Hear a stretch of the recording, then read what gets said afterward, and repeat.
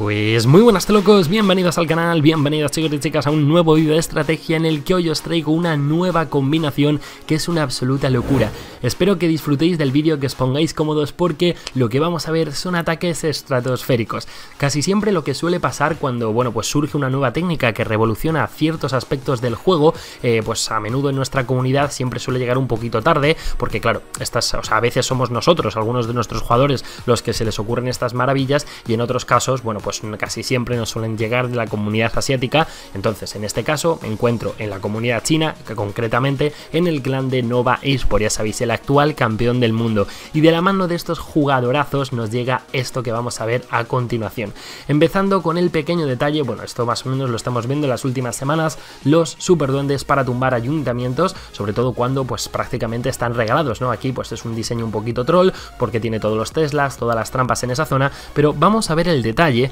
que igual para muchos os parece insignificante, pero quiero intentar, bueno, explicar un poquito el por qué esto puede ser, o sea, por qué es tan revolucionario y por qué es una novedad tan buena que va a ayudar en tantísimos ataques. Fijaos, tenemos un Blink como hasta ahora algo normal, que se suele llevar hasta ahora en el Zeppelin? Bueno, pues dos Yetis y una Valkyria. Ha tirado un rompemuro de testeo porque, bueno, por si acaso no salía del todo bien, pero fijaos lo que ocurre a continuación. Sale del interior del castillo del clan un super rompemuros. En lugar de llevar dos GTs y una Valkyria como se estaba haciendo en los últimos meses, estos jugadores chinos han, bueno, implementado la idea de llevar un super rompemuros y de verdad que aunque parezca una cosa aislada de un solo ataque, lo están haciendo en la mayoría, en todos los ataques que, utiliza, que utilizan el blimp, que utilizan esta estrategia, en casi todos están llevando ese super rompemuro. Y vamos a ver con diferentes ataques, diferentes eh, utilidades y vais a ver de verdad la locura que supone.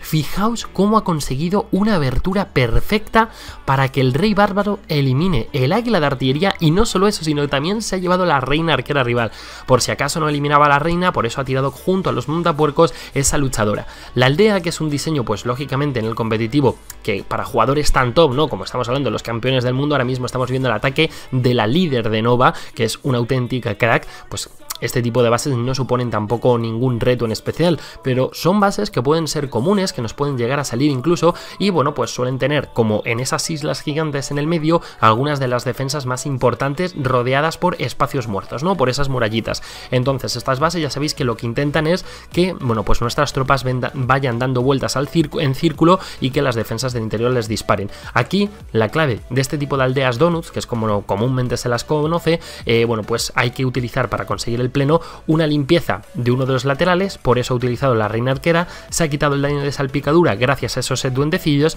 y la parte de arriba la ha eliminado, ha hecho la otra limpieza con el rey bárbaro gracias al el super rompemuro, dejando las defensas más importantes en el medio para los montapuercos. Pero si igual en este ataque habéis dicho, bueno, es que esto, esto es una locura, o sea, el cómo ha introducido su rey bárbaro al interior con ese super rompemuros es de locos. Pero vamos a ver otra de las utilidades de este super rompemuros, que es lo que a menudo ocurre cuando utilizamos el blimp. A veces soltamos el Zeppelin y claro, las bases y los diseñadores ya se están acostumbrando y entonces cuando hacen un diseño ya prevén por dónde el jugador contrario puede tirar ese Zeppelin. Por lo tanto, a menudo pues colocan o sopladores o trampas eh, o minas de rastreo aérea o tornados para evitar esos Zeppelins. Aquí en este caso, o sea, ¿qué, ¿qué supone esto? Bueno, pues que a veces cuando tiramos el Zeppelin no llega justo a donde nosotros queremos. Por eso fijaos aquí, ese Zeppelin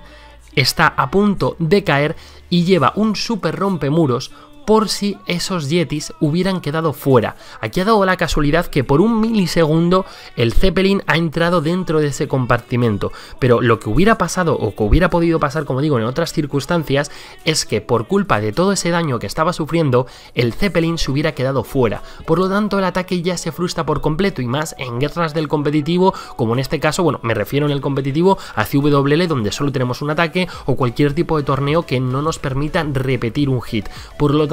ese detalle del super rompemuros parece algo absurdo o que quizás no sea tan importante, pero recomiendo a todos vosotros que si utilizáis esta técnica, en lugar de llevar esos dos Yetis y una Valkyria, sustituyáis la Valkyria por el super rompemuros. A ver, va a haber casos en los que no haga falta, pero fijaos, entradas de este tipo, donde mm, estáis dudando si el Zeppelin va a llegar o no, o igual decís, a ver si va a haber aquí una trampa de tornado y luego los Yetis, en lugar de entrar a donde yo quiero, se nos van por fuera. Por lo tanto, ese super rompemuros es la clave. Dicho esto, ahora vamos a ver otras combinaciones en otros casos para que veáis también todas las, las, ventajas que posee. De momento, el ataque sigue según lo previsto, esto es un mixto normal y corriente, tenemos el Zeppelin que nos ha quitado toda la parte de arriba, bueno, el ataque sigue siendo un atacazo, como digo, la líder de Nova eh, es, no sé, es una, una, fuera de serie, la Reina queda haciendo la limpieza por la parte de arriba, Rey Bárbaro haciendo la limpieza por la parte inferior, y ahora le queda el ayuntamiento al cual se están acercando conjuntamente los montapuercos, los mineros y la propia Reina Arquera. Tiene todavía la luchadora, la habilidad de la luchadora, la habilidad de la luchadora real disponible, que no me salían las palabras, y bueno, pues ahí utilizaba la habilidad del centinela, y bueno, pues más o menos el ataque ya estáis viendo cómo prosigue, aunque es verdad que por culpa de esos campamentos que hay en la zona de las 9 se le iban a desviar un poquito luego esos mineros, pero bueno, lo importante es que esto iba a acabar siendo pleno, como os decía, habilidad de la luchadora todavía disponible, reina arquera con full de salud y también con la habilidad disponible, y el detalle de los super rompemuros que se quitaban todas estas defensas que había en la parte de arriba, bueno, super rompemuros, el, perdón, el los Yetis con el, con el Zeppelin, ¿no? Con el detalle del super rompemuros. Bueno, estos son tres estrellazas, plenazo también, como digo, de Nova, y vamos a ver otra combinación diferente, porque no todo tiene por qué ser, o sea, esta, esta técnica se puede implementar con cualquier tipo de ejército. Vamos a ver ahora un ataque de spam, y fijaos el bonito detalle que, y para que veáis la potencia del super rompemuros y qué bien se implementa. Fijaos que había esa doble línea de muralla y la explosión del super rompemuro, al ser más grande que el rompemuros normal, abarca prácticamente todo eso. Fijaos qué ocurre aquí. En circunstancias normales, ese Yeti se hubiera puesto, o sea, si no hubiéramos llevado el super rompemuros, ese Yeti se hubiera puesto a golpear la muralla y posiblemente se hubiera ido para afuera o hubiera muerto antes de conseguirlo. Gracias a esa abertura doble que ha hecho el rompemuros, consigue entrar al medio y oye, que se ha quitado una torre infer, o sea, una torre, una, una torre bombardera extra, lo cual, bueno, pues todo el daño de salpicadura que podamos reducir para luego utilizar un ataque de spam como es el de Yetis eh, y Valkyrias, pues mejor que mejor. Así que ya lo veis, no solo nos quitamos, hacemos el, el pathing, ¿no? Preparamos esa limpieza del lateral izquierdo con el super, con el, con el blimp y luego pues ahora, bueno, pues simplemente tenemos que hacer la limpieza de la parte superior. También fijaos qué bonitos detalles, todas estas cuestiones, ¿no? Que igual a veces pues hablando no pasan un poco inadvertidas, pero son esos pequeños detalles que diferencian estos jugadorazos y que como siempre os comento, tomad nota de ellos porque, mm, no sé, son, son muy pros, ¿no? Fijaos cómo ha hecho esa, esa limpieza, cómo los Yetis se van hacia el medio, tan solo uno se va hacia el, eh, hacia el almacén de Lisir en la parte de arriba, ha utilizado uno o dos globos para tumbar un mortero haciendo el funnel, utiliza la luchadora real por el medio porque salen esos Teslas para acompañar a todas las tropas, Rey Bárbaro con dos brujitas haciendo la limpieza en lateral y los hechizos de salto perfectamente tirados. No quiere incorporar el hechizo de salto hacia la torre, hacia el águila de artillería porque no le hace falta, porque la reina arquera desde ahí tiene acceso a la misma y lo importante es que las tropas se redirijan desde el centro hasta la derecha, que es donde está la catapulta y la torre inferno en multiobjetivo, que son las defensas más importantes de la aldea, bueno, dejando un poquito más de lado todas las que tienen la parte sur, en la zona de las 9. Rey bárbaro que todavía tiene habilidad, la luchadora todavía con la habilidad, la congelación perfecta, la reina arquera con la habilidad, el ataque acaba siendo bastante sobrado y lo tenéis, hace uso de la, de la luchadora, ¿no? De ese escudo, precisamente para quitarse todos los Teslas que se encontraban ahí, un gigante, un super gigante en la parte de abajo, para traer el fuego de esa torre de arqueras y ese cañoncito, hace uso de la habilidad de la reina y nuevamente tres estrellazas. Vamos a ver ahora después de este, el último de los casos, con una combinación similar en la que, bueno, los super rompemuros juegan un papel bastante determinante a la hora de conseguir ese, esa incursión inicial con el Zeppelin. Tenemos una torre inferno, ahí lo tenéis, rodeada de muros. Y claro, ¿qué ocurre? Que aquí lo normal es que si damos el Zeppelin sin, llevando la Valkyria, como se estaba haciendo hasta ahora, bueno, pues los, mm, los Yetis al caer justo encima de la Torre Inferno se van a quedar atrapados. Es verdad que los mini Yetis van a conseguir tumbar saltando las defensas, pero fijaos, entre la explosión del Zeppelin al caer, la explosión que genera el super rompemuros habilita todo ese centro, todo ese núcleo,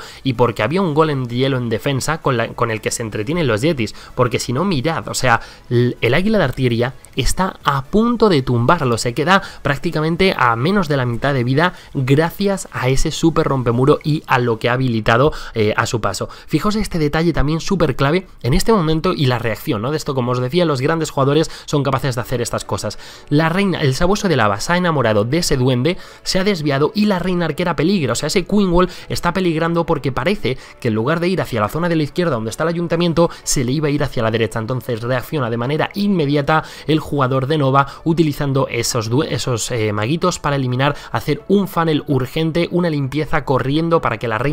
ahora ya sí que sí, se redirija. Otro detalle super pro, fijaos cómo al venir por el lateral pegadita al muro, el funnel no hace falta hacerlo a esos almacenes, o sea, empieza con los mineros, pero la reina ya se había introducido a ese compartimento central desde el que tiene acceso al águila artillería, la reina arquera rival, aunque bueno, aquí fundamentalmente el águila artillería y las defensas de salpicadura. Observar también cómo a veces el mixto cambia, lo normal es llevar un número parejo de montapurcos y mineros, que es lo que se suele ver comúnmente, pero dependiendo de por dónde vayamos a hacer la incursión y todo eso, habrá que a veces llevar más mineros y menos montas o viceversa. En este caso opta por más mineros. ¿Por qué? Porque ha empezado por la zona de la izquierda acompañando con el rey bárbaro para hacer esa limpieza del lateral. ¿Qué ocurre? Que al no haberse activado todavía el ayuntamiento no le hubiera merecido la pena llevar por ejemplo 12 eh, montapuercos y 12 mineros porque los montapuercos hubieran pasado de largo ignorando el ayuntamiento. Luego hubieran tenido que volver una vez que este se hubiera activado. Y ya sabéis que lo mejor es llevar todos los... Eh,